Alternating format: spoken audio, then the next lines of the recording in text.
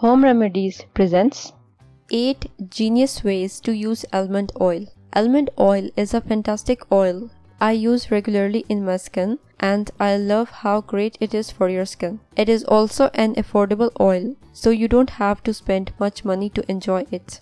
So, let's dive right into all the incredible benefits of almond oil.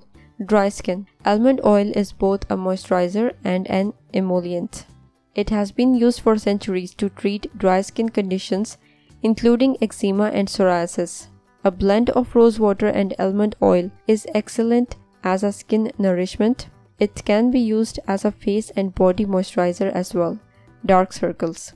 If you suffer with dark circles under the eyes, try applying almond oil under the eye every night to see a noticeable difference. Almond oil nourishes the skin so much it helps diminish dark circles. Thicker lashes. Applying almond oil on lashes right before sleeping will make them thicker, shinier, and longer.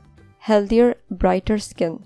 With the high levels of vitamin E and fatty acids, almond oil also improves the health of your skin. It acts as a skin nourisher, facilitating skin lightening and tan removal. Wrinkles and stretch marks. It nourishes deep into wrinkles and stretch marks. In fact, if you notice, almost all store bought solutions for pregnancy and stretch marks contain almond oil. Makeup remover. I believe all of you have to stop using the commercial makeup removers. Do you agree with me? All you need is a cotton ball with almond oil on top, then just wipe off makeup. It comes off very easily. I take a soft cloth and wipe off the excess oil. You can use it for any face makeup remover. It removes all traces of makeup and does not clog the pores at all. Chapped lips and skin. Its topical application can prove to be the best natural remedy for chapped lips, wrinkles, cracked heels, dry feet and hands. Bonus, it helps plump lips too due to its high fatty acid content. Great for massage.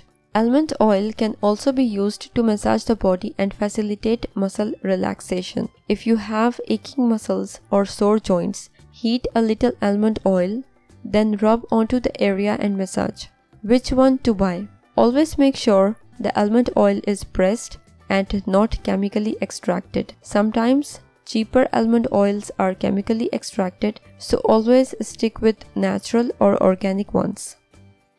If you liked the video, hit that like button to give it more value and share it on your social networks to let others benefit from it too. Thanks for watching. Goodbye.